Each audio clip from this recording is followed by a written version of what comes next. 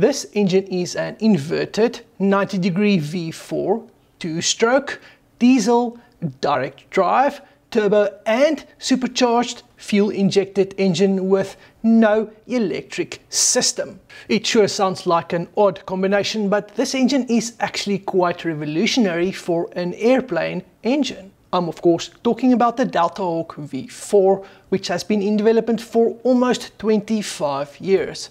But finally, the first deliveries are scheduled to happen in early 2024. So while it's not breaking news, I find this engine fascinating because at first glance, not all those characteristics I've mentioned would seem to work well together. The liquid-cooled V4 engine is 3.3 liters in displacement, weighing 162 kilograms, that produces 180 horsepower. Delta Hawk claims this engine to be 35 to 40% more fuel efficient than an avgas engine, as well as an engine that is incredibly easy to maintain. So if you're thinking this all sounds too good to be true and is probably just another fad engine that will never be successful, consider that this engine has already overcome perhaps the single biggest roadblock that any new aviation engine faces, which is FAA certification. So let's look at some of the mentioned characteristics in isolation before bringing it all together for us to make sense what exactly the hype around this Delta Hawk engine is all about. So first and foremost, the Delta Hawk is a two-stroke engine. And while it's probably not like any two-stroke you've encountered before, two-stroke engines has several advantages over four-stroke engines. Since a full revolution of a four-stroke engine is 720 degrees rotation of the crankshaft and it generates power on only one of the four strokes it goes through, means only 25% of its full revolution creates torque namely the combustion stroke. The other 75% or 3 strokes of its revolution consumes torque, being a parasitic load on the engine, of course being the intake, compression and exhaust stroke. A two-stroke engine's full revolution is 360 degrees. 180 degrees is the piston going all the way down and then another 180 degrees takes it all the way up. That's a full revolution. This means that 50% of the full revolution creates torque and only 50% consumes torque. In other terms, the two-stroke engine has twice as many power strokes per 360 degrees of crankshaft rotation as a four-stroke engine. Another advantage of the two-stroke engine is it doesn't have or need any valves which means it doesn't need a camshaft or any other of the valve train components needed for the operation of valves. This results in a two-stroke engine not only being lighter and smaller than a four-stroke, but it is also less complex as it has fewer moving parts. The valve train system uses some of the torque created by the four-stroke engine to move the camshaft to open and close the valves. This means the two-stroke engine, which does not have any of those ah. components, has less friction and less of the torque the engine creates are spent doing something other than rotating the crankshaft, or in other words, creating power. Combining the lighter nature of the two-stroke with its ability to create torque on every second stroke results in them having very high power-to-weight ratios. But two-stroke engines also has some negatives and ironically the very properties that make them less complex and lighter are also the reason for its disadvantages. Since the two-stroke engine only has two cycles and no valves, and an internal combustion engine has four stages being intake, compression, combustion and exhaust, it means these four stages all happen in only two cycles of the engine. This results in the stages overlapping with each other, meaning none of the four phases are particularly efficient in the two-stroke engine. Not having any valves also results in less control over air intake and outlet, affecting efficiency. This also results in very high emissions as well as having bad fuel efficiency. Another disadvantage of a common petrol two-stroke engine is it usually needs to be overhauled much more frequently than four-stroke engines. This is partly due to usually being high revving engines and partly due to not having dedicated lubrication and instead the oil is supplied mixed in with the fuel. The Delta Hawk is however different from a petrol two-stroke engine in some ways. For one, it doesn't mix oil with the fuel, but are lubricated with internal oil jets via a gear-driven oil pump supplied by a dry sump system. This is possible because air isn't drawn through the crankcase like common two-stroke petrol engines, but makes use of loop scavenging. With the fresh air away from the crankcase and the fuel injected directly into the combustion chamber means that only oil is in the crankcase which should make the engine last longer than your typical petrol two-stroke. But being a two-stroke engine isn't the only thing that sets the Deltahawk apart from your usual airplane engine. Diesel engines are of course nothing new, but combining that with a two-stroke is fairly unusual in aviation. But let's look at the advantages of a diesel engine over a petrol engine. Of course, the engine we are looking at today will most likely be run on widely available Jet A or Jet A1. But note that when I say diesel engine, for the remainder of the video, I'm referring to compression ignition engines. One factor that directly affects power as well as efficiency is compression ratio. In a petrol engine, compression ratio can only go so high for any certain grade of fuel before engine knock is introduced. The more air is compressed, the more it heats up. If it gets too compressed and thus too hot, detonation of the air and fuel mixture can happen too suddenly and prematurely outside of its normal combustion process prolonged knock is bad for internal engine components and can eventually damage it. And for this reason, petrol engines have a limit on how high compression ratio can go.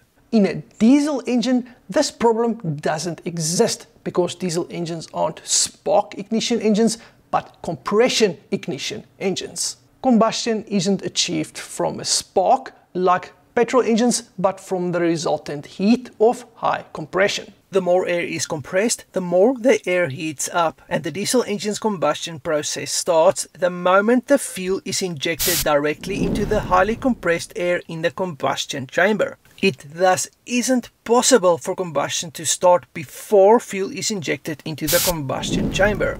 This gives us full control over when combustion will happen, no matter how high the compression ratio, and premature combustion isn't possible. So diesel engines doesn't have any problems with knock and can thus have much higher compression ratios than petrol engines.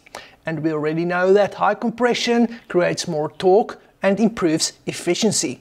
But because diesel engines need to handle that very high compression ratio, they are built stronger and are thus heavier than petrol engines. The Deltahawk engine is a direct drive engine, this means the propeller is connected to the crankshaft and spins at the same RPM as the engine. The majority of older petrol airplane engines are also direct drive.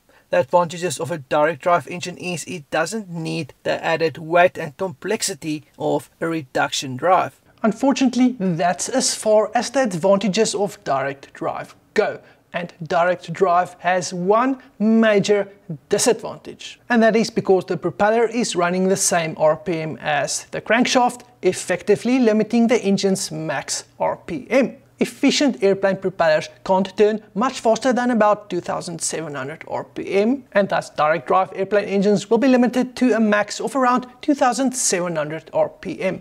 Since horsepower is torque times RPM and the direct drive engine is RPM limited, means there's one fewer way to achieve higher horsepower. Since RPM is limited, the only other way to increase horsepower is to increase torque, which is usually achieved by increasing displacement. Yes, there are other things that contribute to higher horsepower, but this is basically what it comes down to. Modern petrol engines can run more efficiently with better power to weight ratios at quite a bit higher than 2700 RPM, usually closer to 5000 RPM. Running an airplane engine at these higher RPMs thus requires a reduction drive to slow down the propeller speed to less than 2700 RPM. Aside from any reliability concerns, running at these higher RPMs completely offsets the disadvantages of the required reduction drive, being its increased weight and increased friction. However, this disadvantage of being RPM limited on a direct drive engine is actually less of a problem on a diesel engine than it is on a petrol engine. Because diesel engines create more torque than petrol engines, a diesel can create more horsepower at lower RPM than a modern petrol engine. let's look at the pros and cons of another property of this engine being that it's a V4 configuration. A V engine can't achieve perfect primary balance the way that a Boxer achieves it. The Boxer 4 achieves perfect balance with the pistons being 180 degrees opposed, meaning the pistons itself cancels out each other's momentum. This is not only true for primary balance, but also for secondary balance, and thus a Boxer is usually an extremely smooth running engine. On the V engine, it isn't possible for the one piston to cancel out the momentum of the opposing piston, since the pistons aren't actually opposing each other. This means a V engine needs to cancel out the primary and secondary balance in a different way to a boxer engine. But if the V has an angle of 90 degrees, it is possible to achieve perfect primary balance via the crankshaft counterbalance. Now you might think, but isn't that what the crankshaft counterbalance is there for in the first place? Normally, the main purpose of the crankshaft counterbalance is to create a smooth running crankshaft assembly by balancing out the vibrations or momentum caused by the weight of the crank pins and connecting rods. The crankshaft counterbalance can only cancel out all of the momentum of the pistons at top dead center and bottom dead center when the crankshaft counterbalance directly opposes the piston. With the piston in any other position, the crankshaft counterbalance does not oppose the piston and its momentum cannot be cancelled out. This is why an engine layout like a single piston or inline 3 for example can't achieve good primary balance with the crankshaft counterbalance weights alone. However, in a 90 degree V engine it is possible to use the crankshaft counterbalance to cancel out the momentum of both the crankpin and connecting rod as well as the pistons. When one piston is about halfway down the cylinder, you can see the crankshaft counterbalance opposing the crankpin and bottom end of the conrod as per usual. But in this position you'll also see it opposes the other piston which is at top dead center. So by using a crankshaft counterbalance of the correct weight, in a 90 degree V engine it is possible to achieve perfect primary balance. The disadvantage of this is the crankshaft counterbalance will be big and heavy, which isn't particularly well suited to a very high revving engine. But if it's a diesel that is low revving anyway, these big and heavy crankshaft counterbalances aren't that much of a problem at all.